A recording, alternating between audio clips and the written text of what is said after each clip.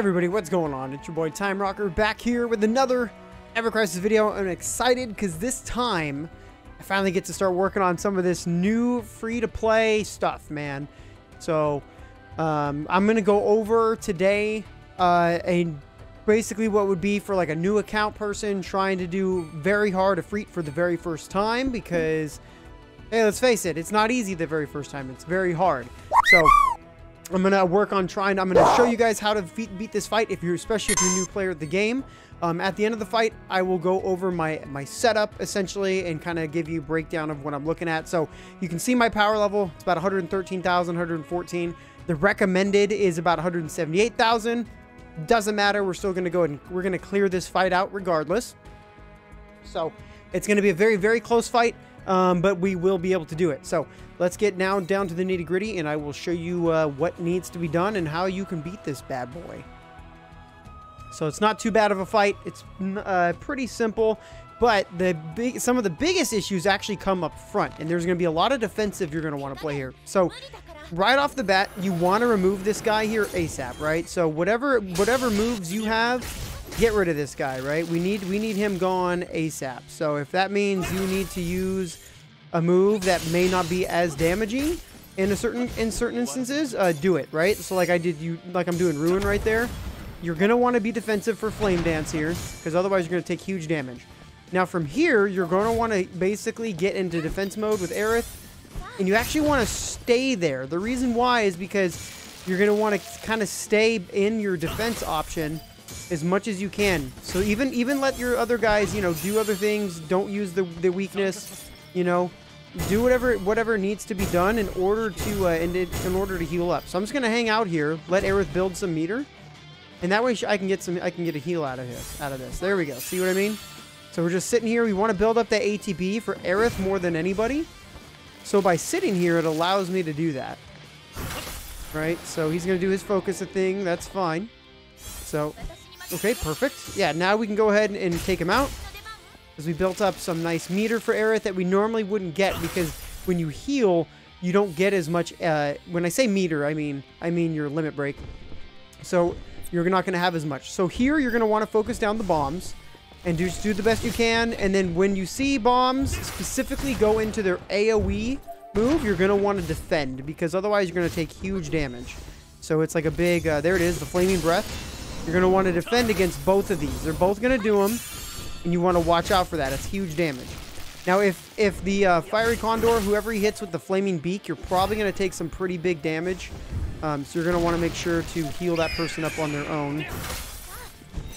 We're going to go ahead and pop a limit break here. Just to, Oh, nope, we don't have to. Okay. I was about to. I was about to. And I forgot to defend there. So now I'm eating my own words.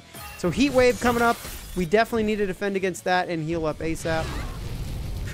So again, a lot of this is we need to get to that limit break for Aerith like right away. Right? So just kind of defend as much as you can. Also, the, there's a piercing talon move you're going to see here. There it is. That piercing beak, sorry. That you're going to have from the Fiery Condor. You're also going to want to try to defend against that as well. It's a very, very strong move. And you don't want to take too much damage from that. See what I mean? So go into defense mode right there anytime you think you're going to take a big hit. It'll help save your butt. Trust me. Worth doing. So we're just gonna keep going in defense mode and just heal up. Okay, that wasn't the that wasn't the beaks. That's good. So we just want to focus. Heal, heal, heal. Heal's the name of the game right now. Right? I'm not at a, I'm not at a concern of anybody else dying, but we do want to get a big heal on Sephiroth because if you see, he's he's a bit lower on health than everybody else. Right? So we want to focus him up with heals. So just keep just keep it going because we're gonna want to save the healing wind here for uh, for Ifrit because otherwise we're gonna get cooked. And, we, and well, we don't want to get cooked. He's gonna hit us with another heat wave. That's fine. Not a big deal, right? And from here, we're gonna sit in defense mode. This way, I can get a I can get an AOE heal that I need. All right, so I'm gonna grab Sephiroth. I'm gonna hit with some Ruin Blow because it's not gonna do much. Because I need I need an AOE heal right now. So that's what I'm focusing on.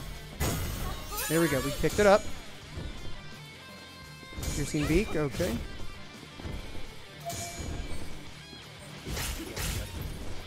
Yeah, so this is why we do this. So now, we're going to be able to do some good damage to Ifrit here.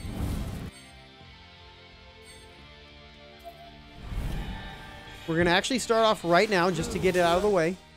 Start getting some damage on him and heal up because we need to. And we're going to have to start focusing on getting his his ice. Um, he's going to have an ice meter and we want to keep that meter as low as possible. The lower the meter is, the less damage he does. If he gets to max meter, well, you can just kiss yourself goodnight. so, okay, there we go. So we want to make sure, and then anytime he comes in for those attacks, you're going to want to block. So swap to whoever you may need to swap to in order to avoid getting uh, taking as much damage as possible.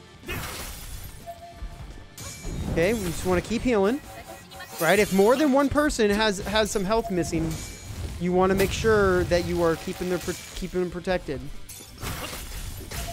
Okay, we're gonna go for the double there. Go for this boy, and then right here we're gonna actually need to heal up Cloud.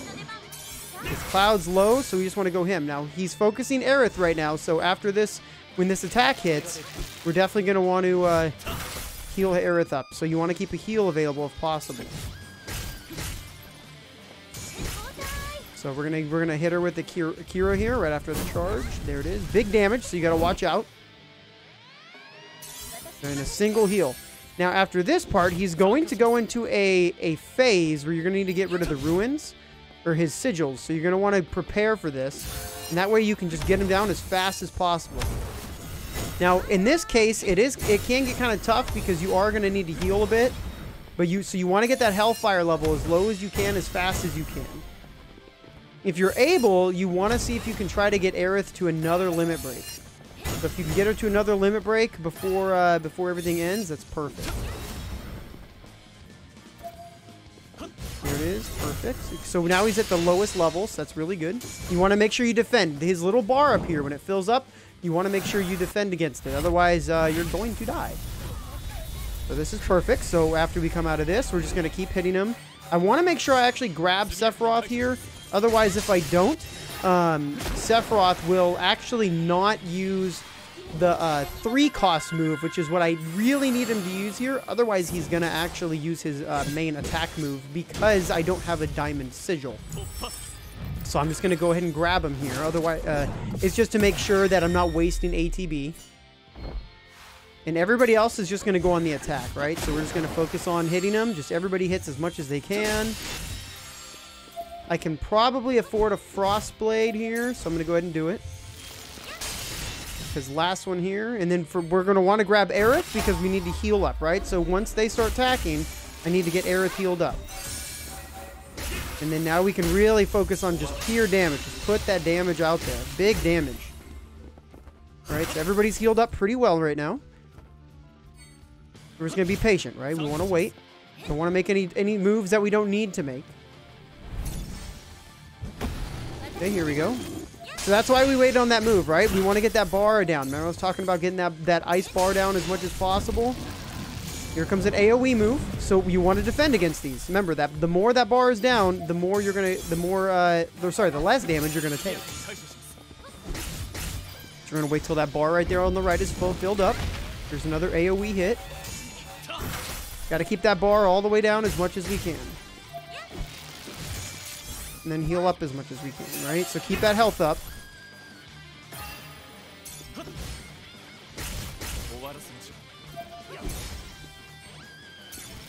Okay, that's pretty good. We got we got that meter, so he's already almost dead. See, big damage. No no big deal. No big deal. She's gonna heal. That's okay. I didn't. oops, I was already in attack. I was already in defense mode. I didn't expect her to heal there. That's that's my that's my bad. So now this is gonna be his final mode right here. If he if this bar fills up, he's gonna win. So what we're gonna do is just stay in attack mode, build everybody's limit break, and then hit them all. This will increase the damage that your limit breaks will do. If your limit breaks aren't level 5 or, or like mine are, uh, you can, you know, you can uh, probably do them at level 1. It doesn't, limit breaks do a, a, very minimal amount of damage in this fight compared to other things. But from here, it's just a, a race to the finish. So we're just going to control the guys. We don't really need to control much, to be honest, and we'll just probably kill them right here. There it is. Perfect. And that is very hard Ifrit, ladies and gentlemen. So, kind of key takeaways there for you guys. at the very beginning of the fight, you want to get in defensive, build up that meter for Aerith. That way you can heal as soon as you get to the main fight for, for Ifrit. I'm not going to get a good score because, you know, I'm not expected to win there.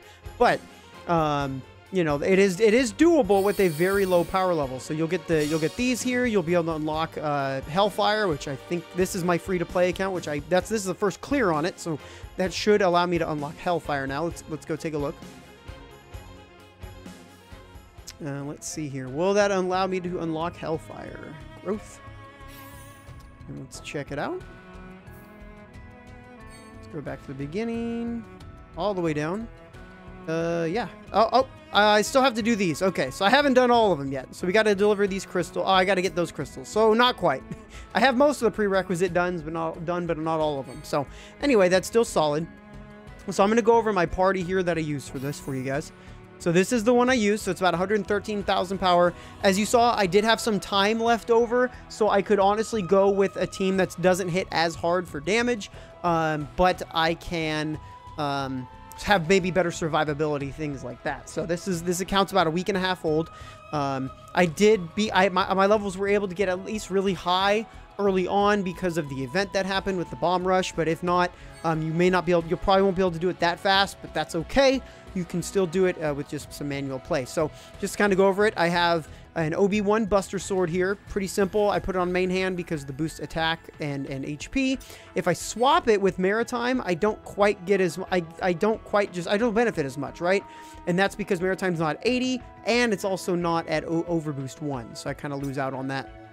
Uh, a three-star Blizzard Blow here um, on my my main uh, damaging. Actually, this could have been in a better position. It should have been down here. I would have been doing an extra 20%, 10% damage. So that's that's a mistake on my end. So that actually that move should have actually been been down there. So that's a mistake of mine. Now they'll swap.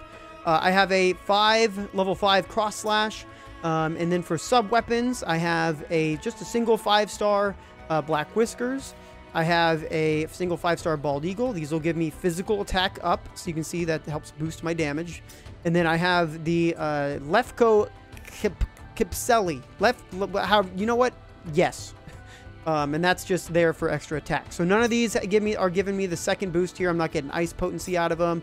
I'm not getting water potency. This is just purely, hey, I need more damage. This is what I need to focus on, right? So that's what we got cooking for Cloud. Um, and then the main thing you also will need, you'll need a Ruin Blow X. That's how you're going to get through that Sigil phase. Very important there. For Aerith, uh, we're rocking her, her gear here that you can buy in the shop that you can get for free. This is the one, if you're going to get any in the shop, I recommend it's, it's the best one by far. Uh, level 5 Healing Wave here. Uh, you could probably honestly pull it off with a level 1 or 2. It's just, if you can increase it, great, because this is the best limit break in the game so far. Um, otherwise, you can leave it as is. Uh, got the uh, Fairy Tale here, uh, level 60. So just basic 5-star 53. It's just a good AoE heal. You can honestly swap her out if you want for Matt. Matt could do the same exact job for the AoE heals. That's the most important aspect of this fight, honestly, is the healing. Because um, once you basically just need healing and then just focus on good ice damage. that's the main thing. Um, I do have a maxed out Ramuh staff because of the co-op thing that was going on right now for the co-op. So I did max that out. Um, Granted, I could probably switch this out for a lot of different things, especially if you've been playing for three, four weeks, you're probably going to have more pulls. And I'll show you here. I haven't used any of my crystals, so if you've pulled any on any of the banners, you're probably going to have a lot better, more, just better and more weapons than, than I have in this account. So you can easily replace this with probably something that will give a magic attack or something of that sort. I don't, all this gives me is just the stats from it, and, and that's it, really. Um, but it, it's good stats, better than anything else I have, so that's why I have it there. Um, this one here, uh, upgraded from the Sephiroth event that was out. So any uh, if you've played probably within the last month of me uh, of when I made this video, you should have this easily. Um, and I boosted this one. It does give nice physical defense, so that's very helpful, and boost HP.